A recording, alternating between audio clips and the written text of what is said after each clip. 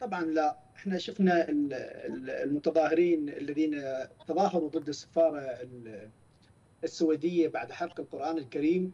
آه.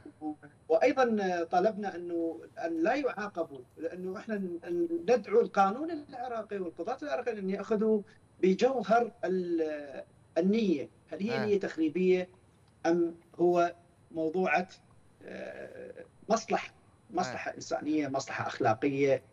لذلك هاي خلي يسجلها خلي شي... خلي يسجلها الشيخ علي هاي سجلها الشيخ علي هاي مال حرق السفارة السويدية. لا لا دعني أكمل سيد. سجلها شيخ علي. أي أنا أنا تعاطفت مع, مع الذين تظاهروا آه ضد حرق القرآن الكريم وطالبت بعدم محاسبتهم.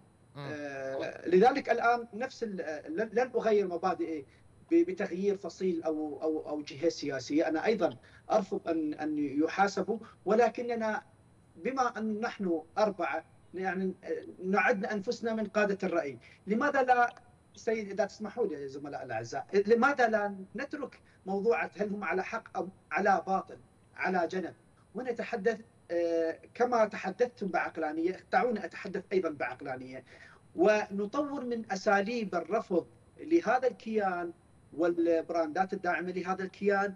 ويمكن للعراق بما يحمله وما يملكه من عمق استراتيجي ومن وضع سياسي ووضع اقتصادي ووضع اجتماعي وحتى ديني. رافض للكيان الصهيوني، لماذا لا تنطلق من العراق وبمعيه الذين يقولون نحن ضد هذا الكيان ونحن مقاومون لهذا الكيان سواء مدنيين أو عسكريين؟ بغض النظر. لماذا لا تكون هنالك حملة للمقاطعة، مقاطعة هذه البضائع، مقاطعة هذه المصالح وبالتالي هذه المصالح إذا ما لقيت لها سوق بالعراق طبعا تعزل